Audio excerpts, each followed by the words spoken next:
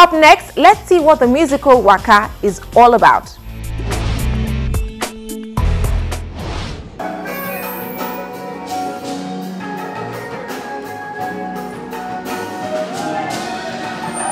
After weeks of rigorous rehearsals and practice, stage play enthusiast Bolanle Austin Peters invites the media for a sneak peek into our newest musical production, Wakaa, off the back of a critically successful debut musical, Saro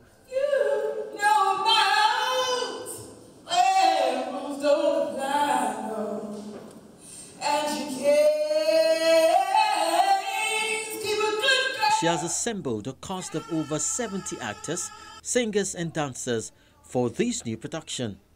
As expected, the pressure of raising the ante over the last work, Saro, lurks over Wakaa.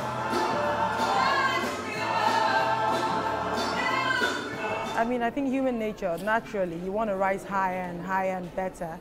Um, it's there subliminally, you know, you, you want to put it there, but at the same time, you don't want it to affect your everyday um, activity, so to speak.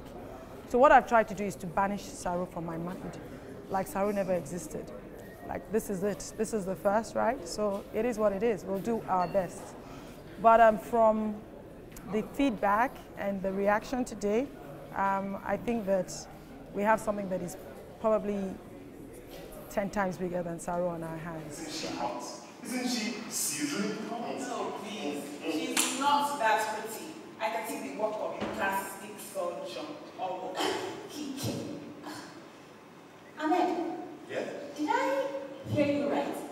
I don't think going to the UK to be with a woman you barely know is appropriate. I mean, uh, musicals, stage productions are actually finally finding their, their footing gradually in Nigeria right now. I mean, since the days of um, National Theatre when theatre was booming, um, I think this Wakaa the musical is actually part of that revival of theatre.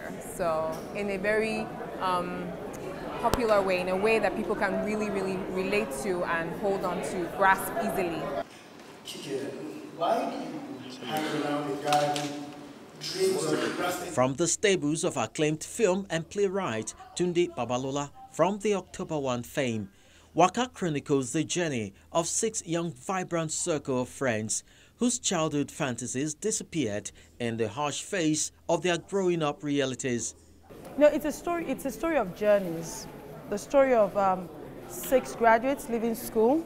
So um, what I tried to do was to portray Nigerians and young adults, what happens to them and their sojourn after university.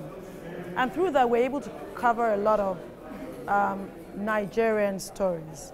So we cover the political scene because one of them gets into politics. And through that, we explore change.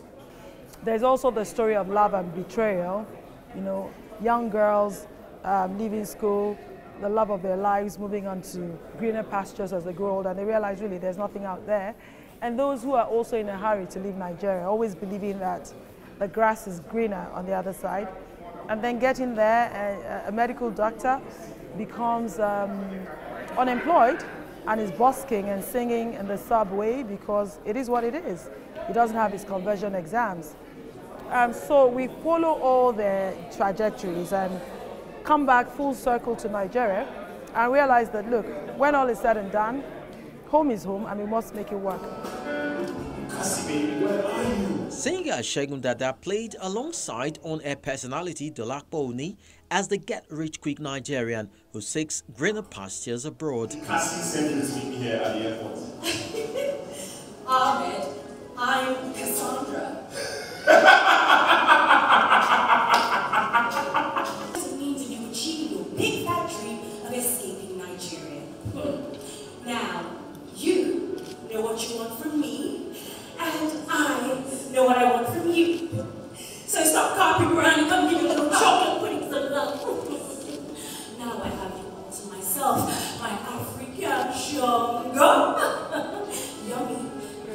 I'm still trying to transit into it.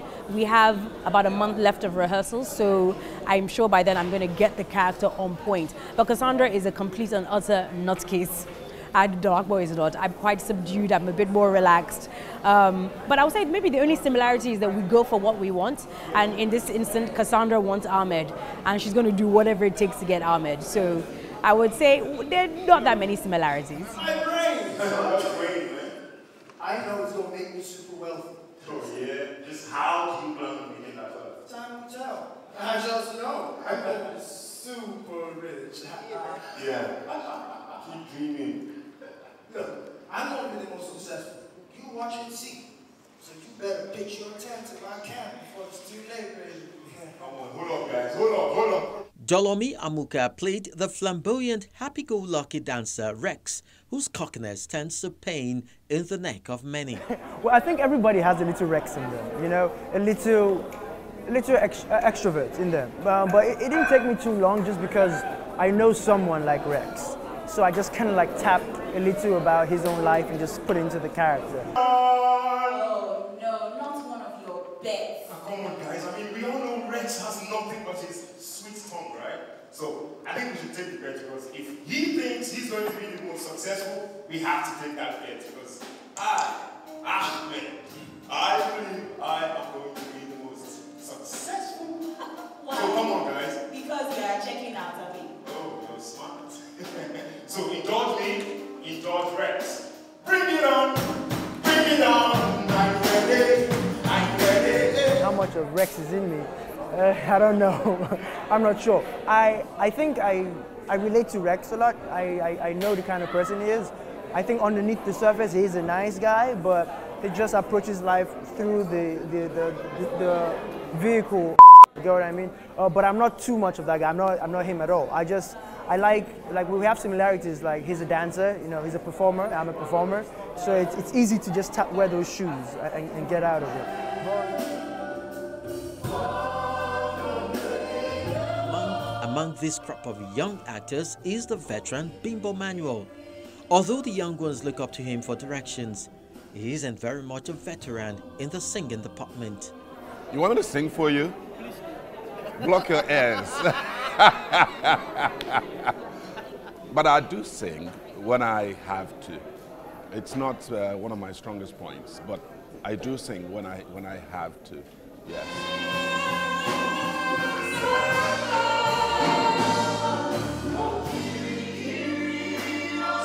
Wakaa is a family-oriented two-hours musical extravaganza with marches, acting with dancing, and of course singing. The production boasts of original songs and covers of some raving pop sound in the country.